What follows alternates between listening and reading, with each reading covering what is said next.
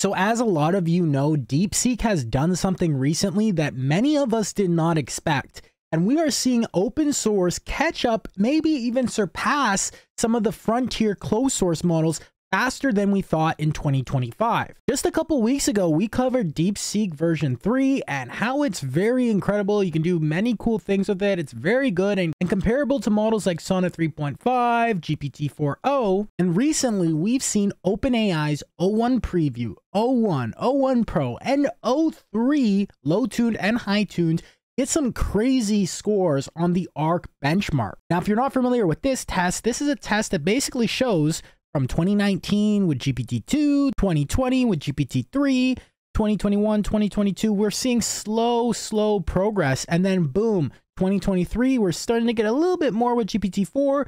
2024, we got GPT-4o right here. So just a few months back, we're still only getting about 5 to 10% on this actual benchmark. This is the AGI benchmark. And then boom, the new paradigm happened with O1 preview with the new test time compute paradigm.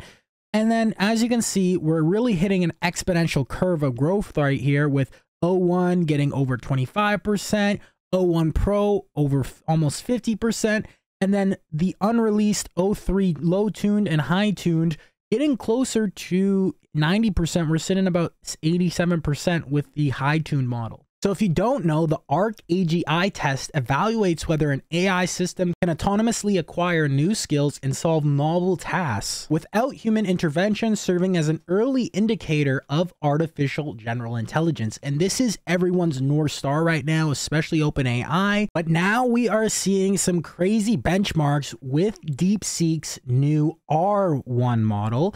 And as you can see here, like we say, never always, you know, believe 100% in benchmarks, especially when the company is putting out their own benchmarks. But you can get a good idea. And we're going to do some tests in just a second here. But you can see DeepSeek R1, DeepSeek OpenAI O1 right here, DeepSeek R1 32B, OpenAI O1 Mini, and then DeepSeek version 3, we have different types of tests right here, Codeforces, math. And as you can see, DeepSeek is on par, if not even surpassing O1 in certain areas. All of that with about an 80 to 90% cost reduction opposed to using OpenAI's O1 model. So all of this is crazy news for the open source community. We're going to dive into this model, run some tests, and I'm even going to show you how you can use it today in a practical use case whether using N8N, Cursor, whatever the case may be, let's dive right into it.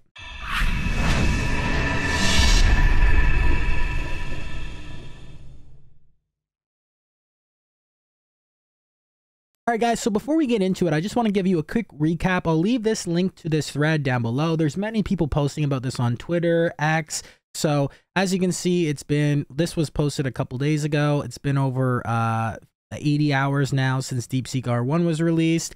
Open source, you can see many different use cases. Some people are considering this as AGI at home, running DeepSeek R1 on 7 M4 Mac minis right here. We got DeepSeek R1 1.5B running fully locally in your browser by Web GPU. So many different ways you can use this. Someone right here building a Perplexity clone with DeepSeek R1 in about an hour without writing a single line of code. DeepSeek R1 creating a rotating triangle with a red ball in it, and O1 could not do this. Building a RAG app to chat with your documents using DeepSeek R1 running locally. This is another th cool thing, guys, and I'll show you this in just a second. DeepSeek also released smaller fine-tuned models like Llama 8B, achieving similar or better performance than GPT-4o or Claude Sonnet. You can also run DeepSeek R1 Distilled Qwen 1.5b 100% locally in your browser, really with anything, but here was with WebGPU again. And then a really cool thing is the DeepSeek chain of thought where you can actually read this out loud and it literally sounds like a human thinking. It's really cool to actually see this. And as we continue with this and this whole test time compute new paradigm, I believe that we're going to see more and more of these AI models acting and thinking as an actual human would through these problems. And another tip is you can actually make any model smarter just by extracting the reasoning from DeepSeek Reasoner.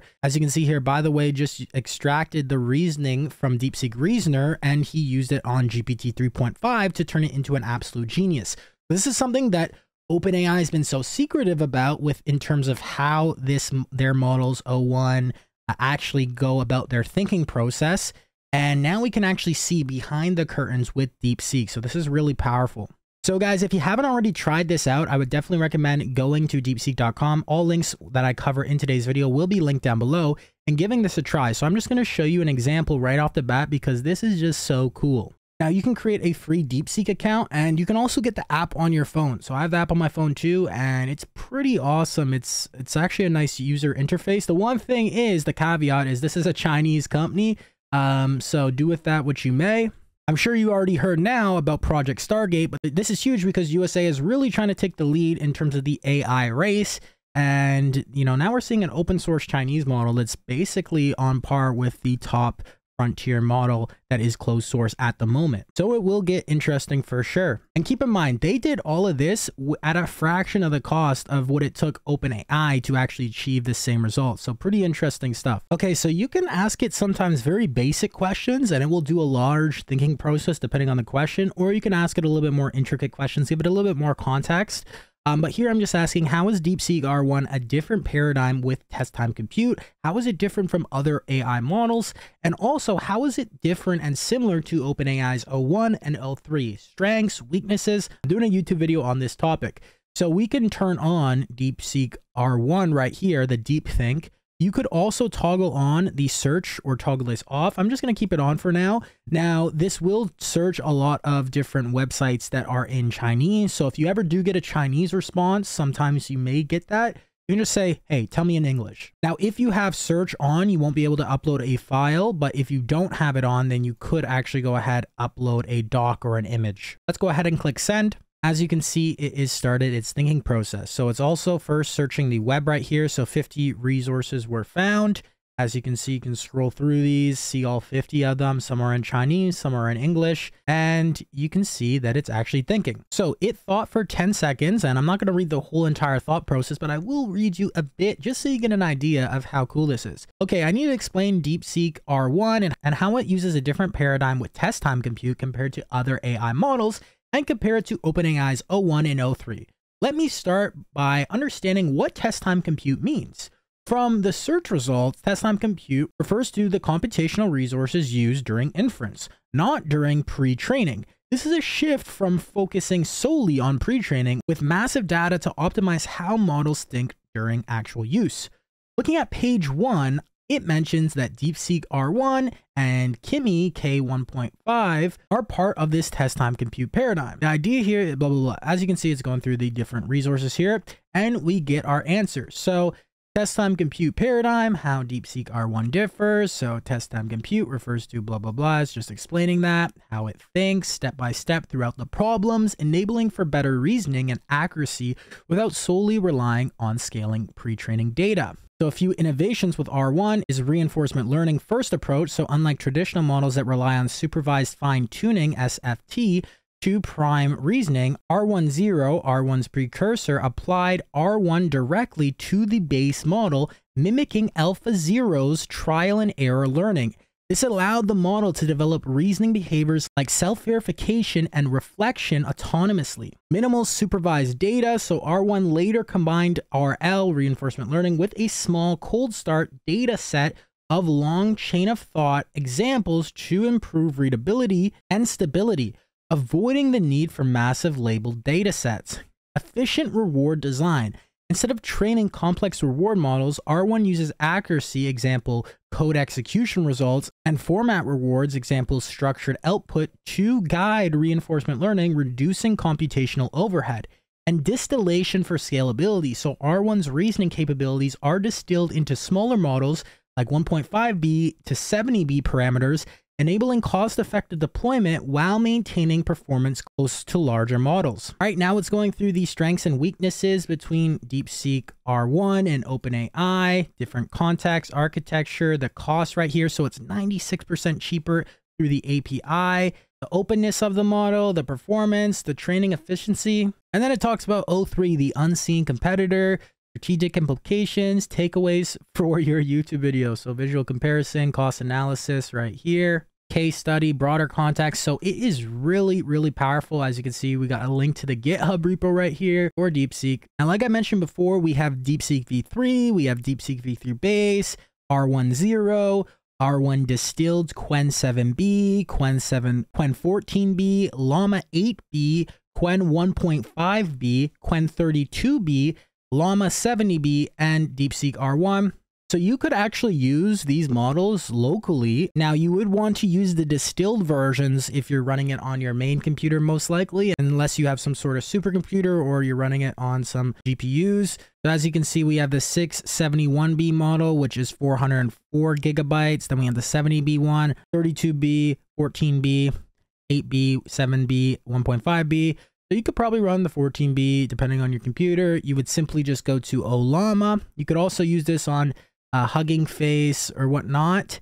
Um, but if you're using Ollama, you could simply just run this command in your terminal if you have Ollama installed, and then you could get this model up and running locally. You could also use LM Studio or any other alternative, of course, for this. Now, I'm going to do a lot more videos on DeepSeek R1 and how to actually use this in real applicable use cases. But I want to show you two main ways, if you don't already know, just a few quick start actions that you can take to start using this right away. So first things first, like I mentioned before, you can check out the deepseek.com website. If you go to the DeepSeek API platform, you'll be able to see your usage, top up, billing, and you can create a new API key. You can go view view their docs over here and you'll see that they provide a base URL right here as well as you would just input your API key. And then over here, you'll see the model names. So if you want DeepSeek chat, that will be V3 and then DeepSeek reasoner right here is R1. You can see the context length, max tokens, max output tokens, 1 million tokens input price, so 14 cents. And this is with cache hit.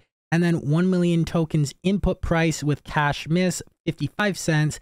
1 million tokens output price 2.19 cents. Now, unfortunately, we have a few unsupported features right now, such as function calling, JSON output, and FIM. Now, there are a few workarounds, and I'll cover some of these in future videos as well. But let me quickly show you how you can actually use this in something like N8N and Cursor. So within N8N, I just have a very simple template right here. As you can see, this is just a agent right here, and you, there's really two main ways you can go ahead and use this. So the first way right here, as you can see, it is DeepSeek OpenRouter. So if I click on this um, right here, so this is just an OpenAI chat model right here. All right, so we're going to connect this here. Now, if we open this up, you'll see this is my OpenRouter connection. So I have my API key posted right here and then the base URL, which is openrouter.ai forward slash API forward slash v1. So if we go to OpenRouter here, you can see that we have DeepSeek R1. I'll leave a link to this down below. You can see it also mentions some additional providers of DeepSeek R1. So you could use DeepSeek, which I'm going to show you in just a second. You could also use DeepInfra, Together AI, and Fireworks. And you can see the latency, the cost, and everything comparison right there. We're just going to go ahead and copy this model right here. So it's DeepSeek forward slash DeepSeek dash R1. And once you have your base URL and API posted right here and you have your connection made, you can simply just go to the model right here and you're not going to use fixed. You're going to use expression and you're going to paste in the model ID right here. Once you do that, you really will have DeepSeek in your agent right here we could go ahead and test it out right now. So I'm saying, hi, what model is this? And as you can see, it says I'm DeepSeek R1. Next, we have another agent right here, and this is the exact same, except the connection is just directly through DeepSeek. So if we go to our connection, you can see the base URL is this, api.deepseek.com.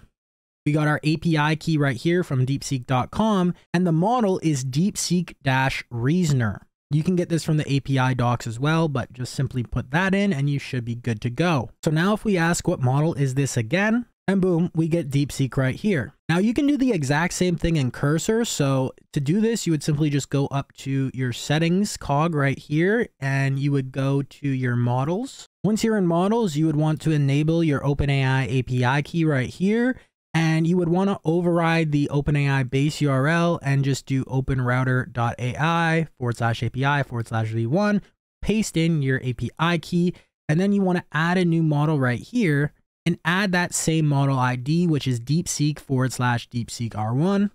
And then as you can see, we asked it what model this is, and it's saying DeepSeek R1. It would be cool if you could actually see the thinking process within Cursor, maybe if there was a toggle of some sorts, but unfortunately you can't do that. Same thing with N8N, you can't see the thinking API requests at the moment. And as you can see, we get our answer right here, going over what DeepSeek R1 even is. But other than that, guys, that's pretty much it for this video. I just wanted to give you a high level overview as well as some practical use cases that you can start using DeepSeek R1 right now after watching this video in N8N and or Cursor. Now, if you want me to cover any specific type of video surrounding DeepSeek R1, showing you how to build certain things like AI agents or whatever the case may be, maybe an N8N or an actual code, let me know in the comments down below. I'm definitely going to be doing a lot more AI agent videos coming soon. Make sure to subscribe, like the video, and comment down below to stay up to date for that. If you're new to the channel, we upload videos all the time on AI agents, AI news, whatever the case may be. So subscribe to stay up to date for those videos. And then also to join our free Facebook group and Discord channel to connect with our community, as well as to get behind the scene resources and templates and tools. So I'll leave a link to that, stridecommunity.com, and then definitely check out our Stride AI Academy. It is an exclusive community that we're building and it's going to be jam-packed with loads of free values. So make sure to join that while it is still free. Also, too, guys, if you run a business and you need help implementing AI agents like AI call center, AI appointment setter, N8N agents, whatever the case may be, into your business, whether you're a marketing agency, a SaaS company, service based business, B2B, whatever the case is, book a call down below at executivestride.com forward slash apply and we can see if it's a fit or not. Other than that, guys, let me know in the comments down below what you think about DeepSeek R1. Is open source going to catch up to closed source and surpass them? And stay tuned for more videos on Cursor, N8N, and a bunch of stuff that I have planned coming soon. Other than that, guys, keep hustling, keep grinding, and of course, guys, accelerate your stride. Take care.